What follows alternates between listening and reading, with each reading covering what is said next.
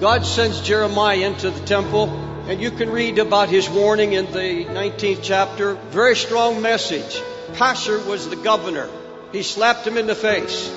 Then he put them in stock. He put him in a torture rack. Now I want to tell you there's no man in the Bible more called than this man. I formed you in the belly. I knew you before you came out of the womb. I sanctified you. I ordained you to be a prophet to the nation. You shall go where I send you. Whatever I command you, you shall speak. He said, Don't ever fear man. I am with you to deliver you. This is a man who knew he was called, knew what his mission was. God said, Gird up your loins, rise up and speak everything I say to you. Be afraid of no man. Don't be impressed by their smiles. Don't be afraid of their frowns. It's an amazing call. Given one of the clearest calls in the Bible. God made him this promise I have made you a defensed city, surrounded you with iron and brass wall, made you impregnable city. Fear no man, accept my call. Then these amazing words came lest I confound you before the people. Simply because he doubts that call, he said, I'm going to allow you to stand before the people and be confused. You will be confounded. Now, this is an important word from the heart of God. This is what he's really saying to us. If you will trust me, will never be confounded. He said, but if you will doubt that, I'll confound you. For men, I cannot tell you how important it is today to remember the call that God put on your heart. And if you doubt that call that God placed on you, that's why you find ministers running all over the world trying to confirm the call of God. One man met me backstage. He said, uh, I had a church of 600.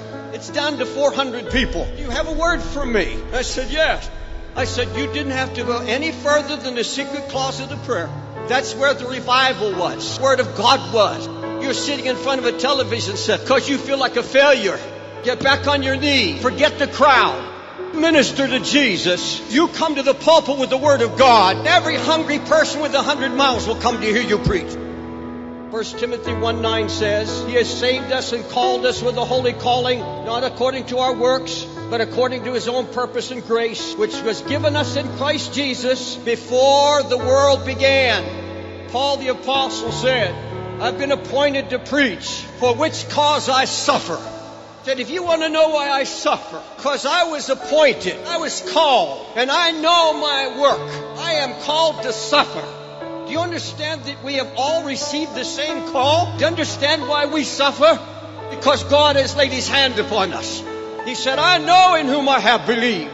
I'm persuaded he's able to keep that which I've committed unto him against that day. Jeremiah reached a low point that night in torture. Now here's the man who's been so assured of himself. And now in his torture, listen to his words. Oh Lord, you have deceived me. I have been deceived. You're stronger than I am. And you've prevailed against me. You call me and allow me to be deceived and deluded. You call me, then you forsake me. And can you imagine what he's thinking?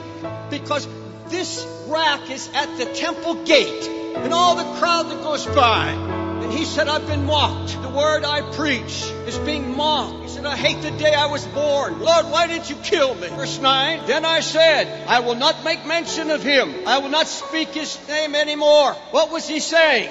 I quit. It's enough. I'm tired of being mocked. There comes a time when you're in the rack. You're going through a time of torture. God called you, as His hand upon you.